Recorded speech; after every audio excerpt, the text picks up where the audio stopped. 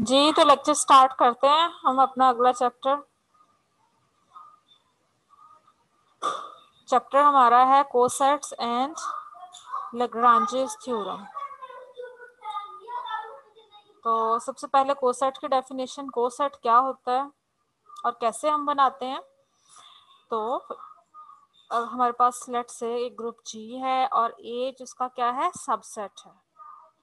For any A इन जी ए में से अगर हम एक एलिमेंट ए चूज़ कर लें ग्रुप जी में से एक एलिमेंट ए चूज़ कर लें, और इस ए और एज की हेल्प से ये वाला सेट बना लें। ये वाला सेट कैसे बनाया? है एलिमेंट ए और सेट एज की हेल्प से हमने ये सेट बनाया है। कैसे बनाया है? ए को एज के तमाम एलिमेंट्स के साथ हमने लेफ़्ट साइड से मल्टीप्लाई किया है। ठीक है? और इस सेट को हम किससे डिनोट करते हैं? ए है तो ए एच क्या कहलाता है? Left coset of H in G ma'am A जो है वो फिक्स्ड होगा। हाँ जी ए जो है वो चूज़ करेंगे वो कोई फिक्स एलिमेंट चूज़ करेंगे। ए और एच जो है वो पहले गिवन होंगे उनकी हेल्प से हम ये वाला जो सेट बनाएँगे ए एच इस तरह से उसको हम को सेट कहेंगे। Coset of H in G by A अब इसे हम क्या कहते हैं, जब हम देखें लेफ़्ट साइड से मल्टीप्लाई करेंगे तो वो लेफ़्ट कोसेट कहलाएगा। जब ए जो है एच के एलिमेंट्स के साथ राइट right साइड से मल्टीप्लाई होगा तो वो फिर राइट कोसेट कहलाएगा। ए एच को क्या कहते हैं? लेफ़्ट कोसेट और एज ए को हम कहते हैं right coset of H in G containing A ठीक है एलिमेंट ए को हम क्या कहते हैं? Is called the representative of A H A H के रिप्रेजेंटेटिव कहलाता है जो ए है। और ए एच में कितने एलिमेंट होते हैं? इस सिंबल का मतलब है number of elements in coset A H तो ज़ाहिर है, जितने एच में एलिमेंट होंगे, जितने एच में एलिमेंट होंगे, उतने ही ए एच में होंगे। ठीक है, अब आगे एग्ज़ाम्पल के साथ एक्सप्लेन किया हुआ नीचे। इस एग्ज़ाम्पल में हमारा ग्रुप जो है वो एस थ्री है और एज क्या है? एस थ्री का मतलब set of all permutation on three elements और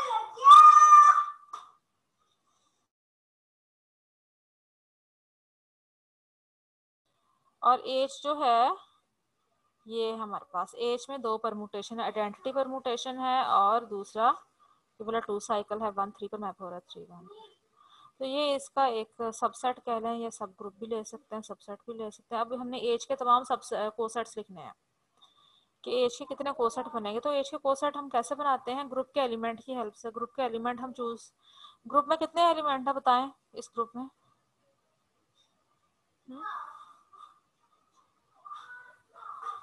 कितने एलिमेंट है?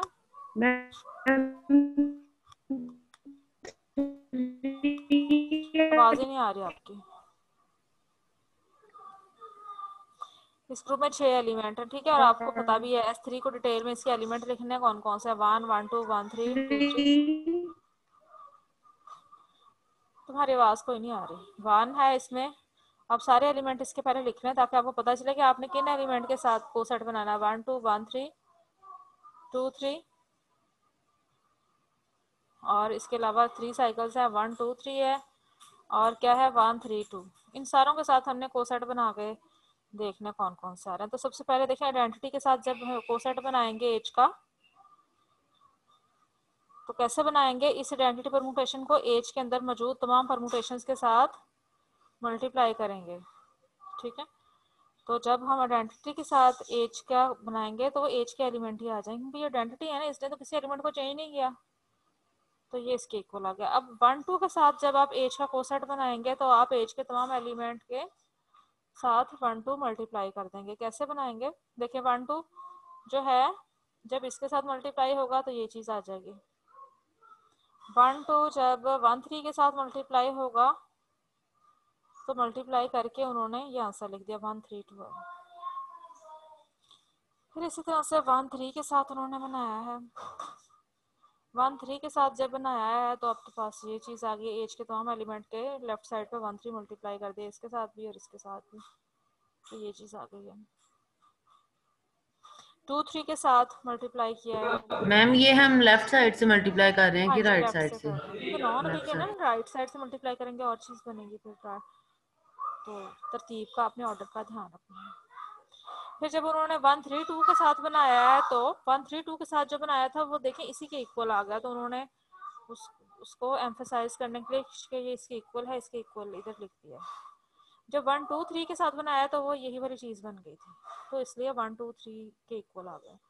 तो टोटल कितने, अब लेकिन छः के छः एलिमेंट के साथ कोसेट आपको नज़र आ रहे हैं ना? चार ये बन रहे हैं और दो ये छः कोसेट थे। छः के साथ बनाया तो कितने डिफरेंट कोसेट आए हैं? Four coset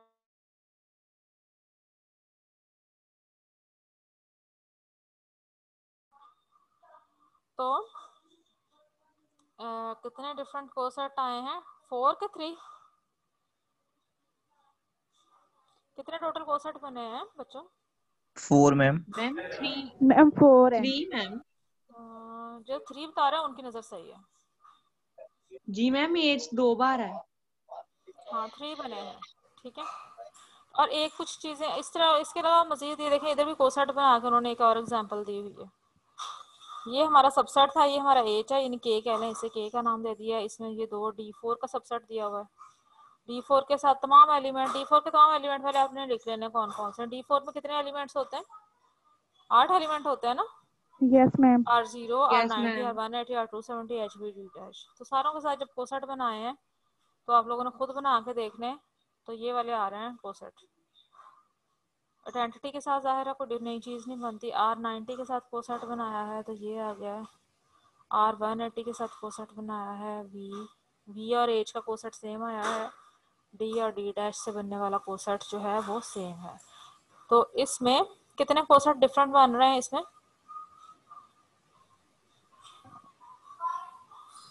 Ma'am four four four coset जो है वो टोटल बन रहे हैं। अगर हम रिप्रेजेंट फोर फोर बन रहा है। तो पीछे भी जो थे वो कितने बने थे? थ्री बने थे इसमें फोर बने हैं। और एक बात याद रखें देखिए जब आर वन एटी के साथ जो कोसेट बनाया है तो वही चीज़ आ गई के ही आ गया है ना? नई चीज़ नहीं ना बनी? जी मैम बिकॉज़ आर। नोट और आर वन एटी आइडेंटिटी है।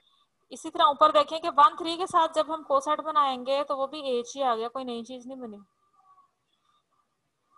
जी मैम तो ये एक जनरल रिज़ल्ट भी है आप आगे जाकर भी ये ऑब्ज़र्व करेंगे मजीद एग्जांपल्स में कि जब हम ऐसे एलिमेंट के साथ कोसेट बनाते हैं जी के ऐसे एलिमेंट के साथ कोसेट बनाते हैं जो एज के अंदर ऑलरेडी हो तो कोई नया कोसेट नहीं बनता वही वाला आ जाता है। ठीक है? और लेकिन शर्त क्या है? एज को सब ग्रुप होना चाहिए। आम सेट नहीं होना चाहिए सब ग्रुप होना चाहिए, जी को। और इसके अलावा आप देखें कि जी में छः एलिमेंट थे। इसका ये जो सब ग्रुप है, इसमें टू एलिमेंट थे तो कितने कोसेट बने? थ्री और आप क्या इसमें ऑब्ज़र्व करते हैं कि तमाम जो कोसेट हैं, देखिए, इस कोसेट में जो एलिमेंट है जो इस कोसेट में एलिमेंट है और इसमें एलिमेंट है, ये सारे आपस में क्या हैं? ये तीन डिफरेंट कोसेट बन रहा है ना, ये वाले तीन। एक एच बन रहा है, ये वाला।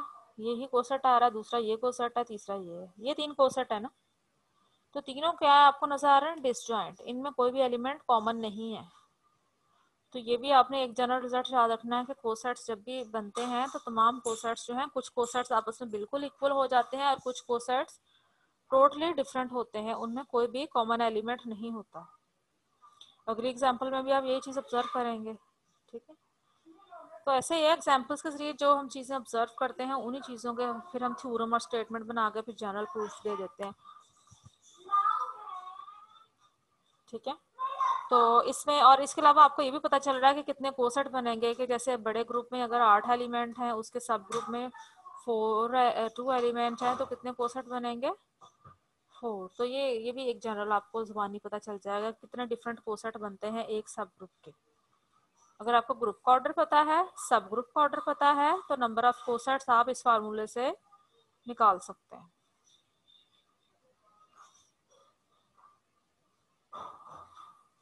और तमाम कोसेट्स की यूनियन लेने से क्या आ जाता है? जैसे ये देखें इधर।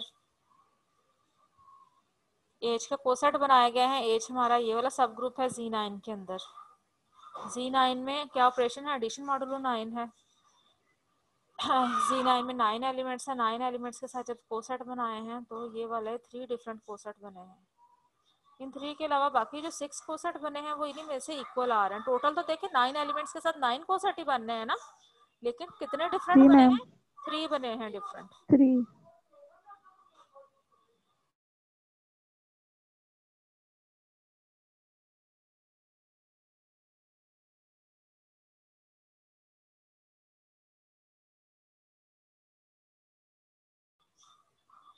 तो ये टोटल जो है नाइन कोसेट आपके पास बने हैं। डिफरेंट जो है, वो थ्री बने हैं, ठीक है? और ये तीनों के तीनों आपस में डिसजॉइंट है और इनकी यूनियन लेने से क्या बन जाता है? तीनों कोसेट्स की यूनियन लेने से होल ग्रुप आ जाता है आपके पास। और इसके अलावा एक और मजीद ऑब्जर्वेशन है कि हर एलिमेंट अपने, हर कोसेट जो है, अपने से बनने वाले जिस भी एलिमेंट के साथ कोसेट बनाते हैं ना, वो एलिमेंट लाजमी अपने कोसेट में मौजूद होता है। जैसे वन के साथ कोसेट बनाया वन लाजमी इसमें प्रेजेंट है। टू के साथ कोसेट बनाएँगे टू इसमें प्रेजेंट है। फाइव के साथ जब कोसेट बनाएँगे तो फाइव इसमें लाजमी होगा। एट के साथ कोसेट बनाएँगे तो एट होगा इसमें। तो आगे जाके यही ऑब्जर्वेशन जो हैं, हमने इन्हीं के प्रूफ्स देने हैं।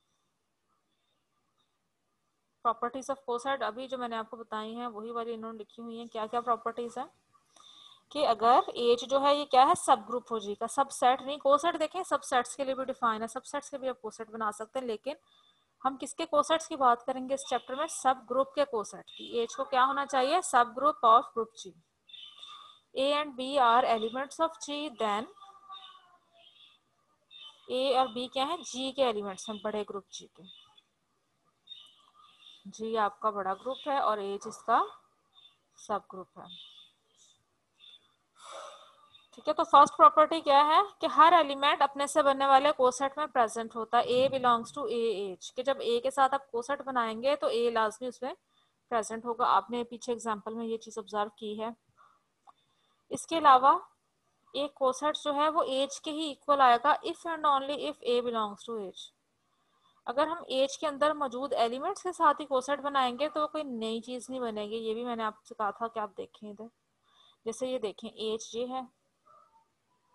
अगर आप ज़ीरो थ्री और सिक्स जो इसमें मौजूद है एलिमेंट उन्हीं के साथ कोसेट बनाएँगे तो कोई नई चीज़ नहीं बन रही बल्कि क्या बन रहा है? एज ही आ रहा है ठीक है? तो यही चीज़ नीचे बताई हुई है। इफ़ एंड ओनली इफ़ के साथ है कि अगर एक एलिमेंट से बनने वाला कोसेट एज के ही इक्वल आ जाए तो वो एलिमेंट एज में होगा। या वाइस वर्सा भी आप सोच सकते हैं कि अगर एक एलिमेंट एज में मौजूद है तो उससे बनने वाला कोसेट जो है वो एज के अंदर कोई चेंज नहीं लाता एज ही आ जाता है आपके पास। थर्ड प्रॉपर्टी है कि दो कोसेट्स इक्वल होंगे if and only if A belongs to B H के दो कोसेट इक्वल होंगे, अगर ए जो है ये ये वाला जो एलिमेंट ए है, ये इस बी एच में प्रेजेंट हो। ये चीज़ हमने प्रूफ करनी है। फोर्थ है कि दो कोसेट्स या तो बिल्कुल सेम होंगे या फिर टोटली डिफरेंट होंगे। उनमें कोई भी एलिमेंट कॉमन नहीं होगा उनके इंटरसेक्शन में। फिफ्थ है कि दो कोसेट्स इक्वल होंगे if and only if A inverse B belong to H कि ए इनवर्स बी अगर एच को बिलोंग करेगा तो ए और बी से बनने वाले कोसेट इक्वल होंगे। तो ये रिज़ल्ट आगे जाके भी हमने ये जो सारे रिजल्ट्स हैं, ये थ्रू आउट ग्रुप थ्री और एडवांस ग्रुप थ्री यूज़ होते हैं। आपको जुबानी पता होनी चाहिए ये प्रॉपर्टीज़ तो आगे नेक्स्ट सिक्स क्या कि तमाम कोसेट्स में नंबर ऑफ़ एलिमेंट एक जैसे हैं। और वो कितने होंगे? जितने एज में हैं। अगर यानी एज के एज में तीन एलिमेंट हैं तो एज से बनने वाले तमाम कोसेट्स में तीन एलिमेंट ही होंगे। तो यही प्रॉपर्टीज़ इनके प्रूफ हम करते हैं, जैसे आप ऊपर देख लें। कि तमाम कोसेट में थ्री एलिमेंट्स ही होंगे।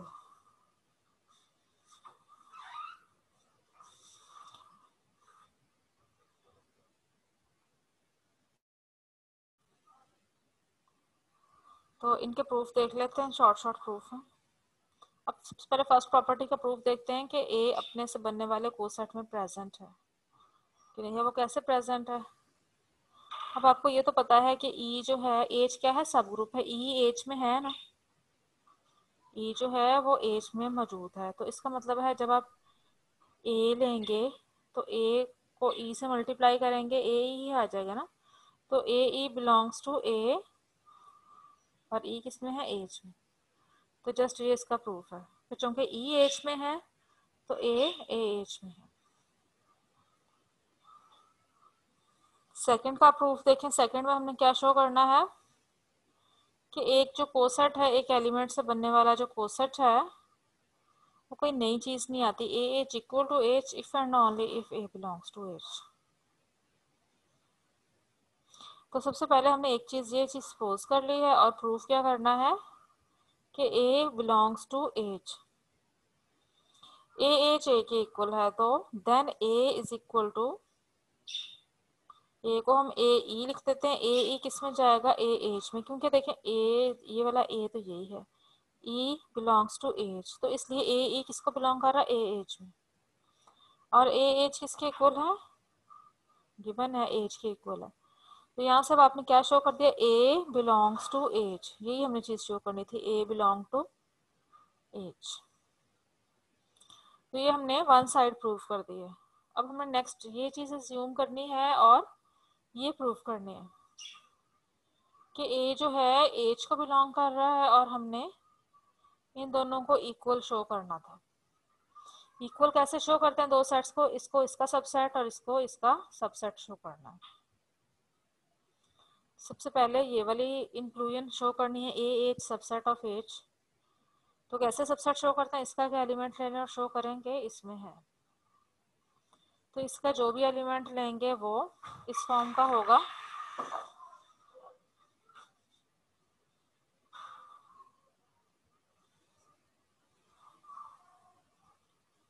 तो पहले तो उन्होंने कहा, ये जो पहली इंक्लूजन है ना, ये तो फ्रॉम क्लोजर शो हो जाती है। क्योंकि ए एच में है ना एक कहाँ है? एज के अंदर ही है। तो जब एज के एक एलिमेंट को एज के दूसरे एलिमेंट के साथ मल्टी तमाम एलिमेंट्स के साथ मल्टीप्लाई करेंगे तो एज के ही एलिमेंट आएँगे ना। बट क्योंकि एज एक सब ग्रुप ग्रुप भी है, इसमें क्लोजर लॉ होल्ड करता है। तो ग्रुप के ही एक एलिमेंट को ग्रुप के बाकी एलिमेंट्स के साथ मल्टीप्लाई हो ए एज का मतलब है ग्रुप का एक एलिमेंट ए ग्रुप के ही एलिमेंट्स के साथ मल्टीप्लाई हो रहा है। तो वो फिर आंसर किसमें रहता है? एज में ही बाय क्लोजर प्रॉपर्टी तो यही इन्होंने बात इधर लिखी हुई है। The first inclusion follows directly from the closure of H H क्योंकि ग्रुप है, इसमें क्लोजर लॉ होल्ड करता है। तो इसलिए ए एच जो है, ये सबसेट है एच का। क्योंकि ए ऑलरेडी इसको बिलोंग कर रहा है। यानी एज एज जो है, ये इस ए को ऑब्जॉर्व कर लेगा, अगर ये इसको बिलोंग करता है। अब हमने रिवर्स इंक्लूजन ये वाली शो करनी है। तो इसके लिए हमने इसका एक एलिमेंट ले लिया एच और शो करना है कि वो इसमें भी है।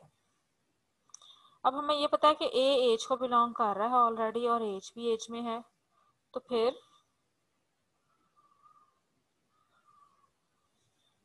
अगर ए का ए चूँकि एज में है ए का इनवर्स भी एज में है।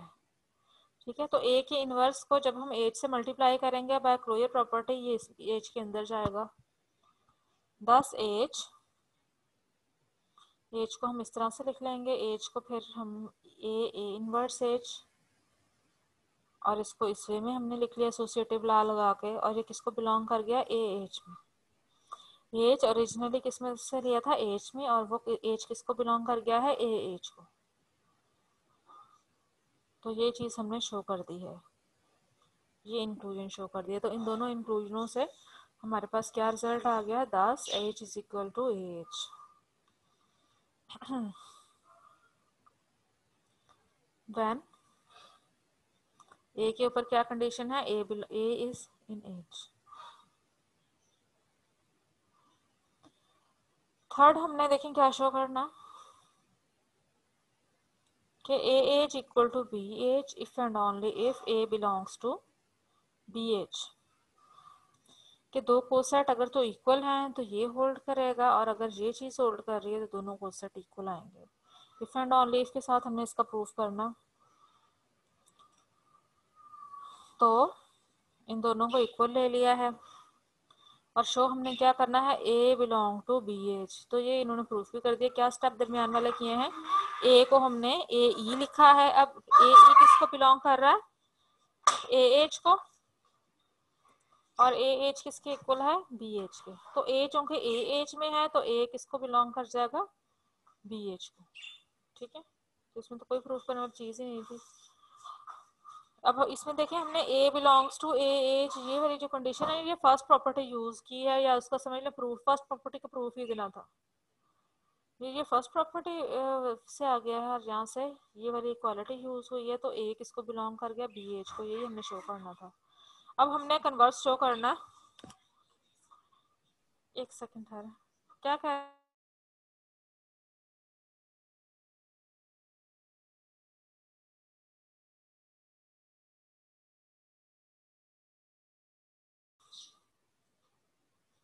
कन्वर्सली देखें, हमने ये चीज़ इसमें से ले ली है और क्या शो करना है? ए एच को बी एच के इक्वल ए बी एच को बिलोंग कर रहा है इट मीन्स ये बी एच के किसी एलिमेंट के इक्वल है. तभी देखिए बी एच के तमाम एलिमेंट किस फॉर्म के हैं? इस फॉर्म के हैं बी एच ये बी एच की डेफिनेशन है.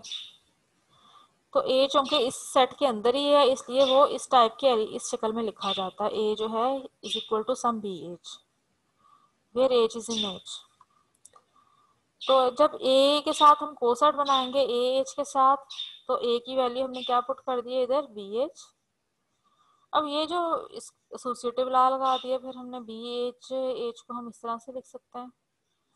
अब ये जो एच है, चूँकि इसको बिलोंग करता है तो ये इसको ऑब्जॉर्व कर लेगा, ख़त्म हो जाएगा तो ये क्या बन जाएगा? बी एच सेकेंड प्रॉपर्टी यही थी ना कि अगर एक एलिमेंट किसी को बिलोंग करता है तो वो फिर ए एच के इक्वली आ जाता है। सेकेंड प्रॉपर्टी ये थी कि A H is equal to H if and only if A belong to H कि अगर ये इसी का एलिमेंट है तो ये बैक्लोजर ला इसको ऑब्जॉर्व कर लेगा एज ही आ जाएगा। तो इधर भी यही हो रहा है, ये जो स्मॉल एज है, बड़े एच का एलिमेंट है तो ये फिर बड़ा एच ही आ जाएगा। तो हमने क्या शो कर दिया? A H equal to P H तो ये थर्ड प्रॉपर्टी का प्रूफ हो गया हमारे पास। तो आगे दो तीन प्रॉपर्टीज़ के प्रूफ हैं, वो हम मज़ीद देख लेते हैं क्या है उसमें। मतलब अगली प्रॉपर्टीज़ के प्रूफ हम नेक्स्ट करेंगे मिक्सअप हो जाएँगे। अभी आप इनके पहले थ्री प्रॉपर्टीज़ के प्रूफ अच्छी तरह करें, ठीक है?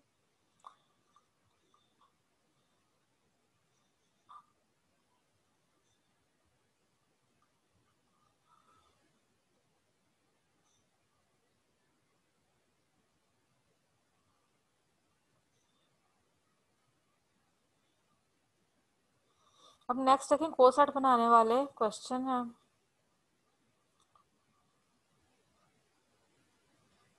जैसे फ़र्स्ट नाइन क्वेश्चंस हैं। इस एक्सरसाइज के जो फ़र्स्ट नाइन क्वेश्चंस हैं उनमें आपने कोसेट ही बनाने हैं वन से लेकर नाइन तक। इनमें से तीन चार आप प्रैक्टिस कर लें। ठीक है ये सारे क्वेश्चन आज के लेक्चर से रिलेटेड है। हाँ के लेक्चर अगर आप पहले पढ़ेंगे तो आप ये कर सकते हैं सारे।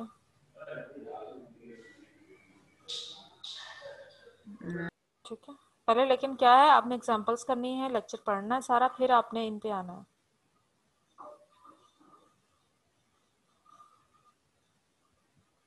जैसे इसमें एच गिवन है और जी गिवन है ए फोर पहले तो ए फोर के तमाम एलिमेंट्स जुबानी आपको याद होने चाहिए। ए फोर के तमाम एलिमेंट्स लिखने फिर उनके साथ आप इसके कोसेट बनाएँ। तमाम को सेट बनाए जैसे इन्होंने एग्ज़ाम्पल में बनाया है वैसे आप बनाए आप भी। ठीक है? जी मैम हाँ चलें जैसे ये क्वेश्चन नंबर थ्री है। ये सॉल्व कर लें अगर आप लोग अभी करना चाहते हैं। कोई मसला है तो मुझसे पूछें। एज ये है इसके तमाम लेफ़्ट को सेट्स जो हैं आपने जी में फाइंड आउट करने हैं और आप फाइंड आउट करें फिर मुझे चलें ग्रुप में बता दीजिए आपके कितने को सेट इसके बन रहे हैं। ठीक है? जी मैम। ओके क्वेश्चन एक दो भी अटेम्प्ट करें और आपको आइडिया हो जाएगा।